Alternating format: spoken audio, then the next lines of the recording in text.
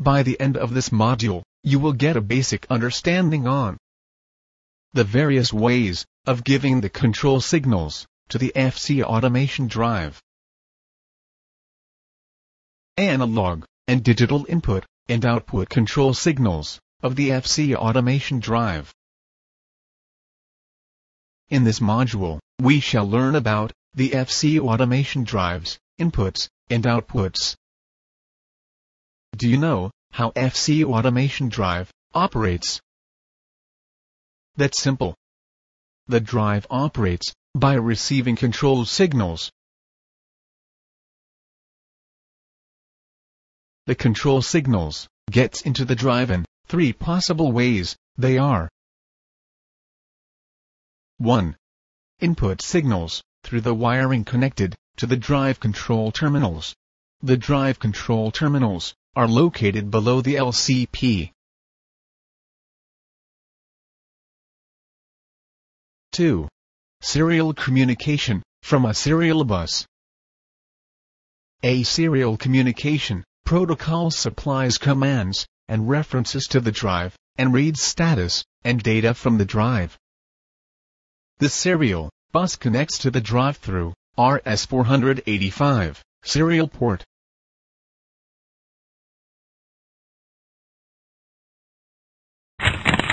For detailed informations, read general specifications in FC Automation Drive Design Guide. 3. Through the LCP, on the front of the drive, when operating in local mode. These, input, include start, stop, reset, speed reference. The most commonly used are Profibus and DeviceNet, among the others. Now let's see the input signals to the FC automation drive. The FC automation drive can receive two types of remote input signal, they are digital signal, analog signal.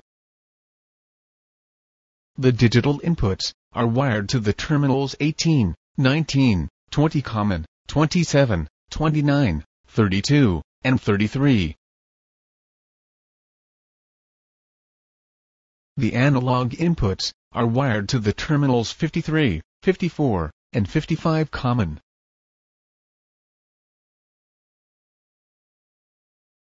Let's now have a look at the analog input signals of FC Automation Drive. Analog signals can be either voltage 0 to plus 10 volt DC, or current 0 to 20 mA, or 4 to 20 mA connected to terminals 53 and 54.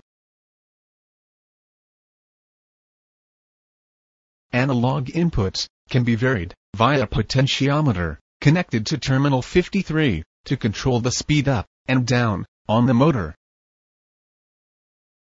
The drive can be programmed to increase or decrease output in relation to the amount of current or voltage on the terminal 53 and 54. For example, a sensor or an external controller may supply a variable current or voltage.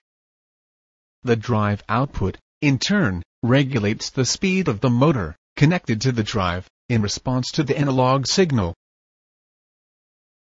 Next let's have a look at the digital signals of the FC automation drive.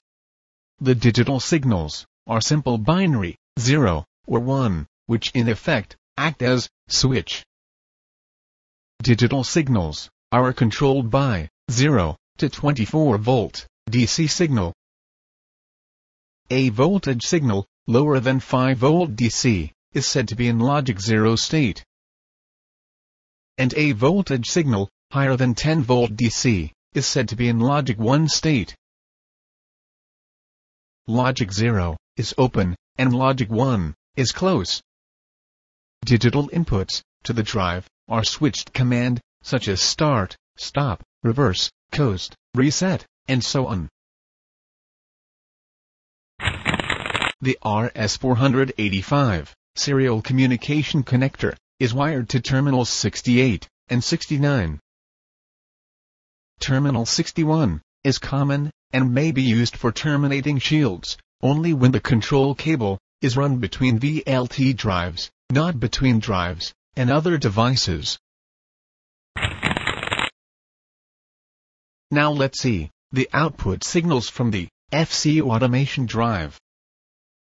The FC automation drive produces output signals that are carried through either the RS485 serial bus or terminal 42. Output terminals 42 operate in the same manner as the inputs. These terminals can be programmed for variable analog signal in 0 or 4 to 20 milliamps. Output analog signal generally indicate the drive frequency, current, torque, and so on to an external controller or system. Digital outputs can be control signals used to open or close damper or send a start command to auxiliary equipment. The additional terminals are Terminal 01, 02, 03 are form.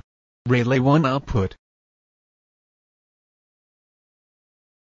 Terminals 04, 05, 06 are form. Relay 2 output. Terminals 12 and 13 provide 24 volt DC voltage power, are often used to supply power to the digital input terminals 16 to 33. These additional terminals 16 to 33 must be supplied with power from either terminal 12 or 13 or from a customer's supplied external 24 volt DC power source.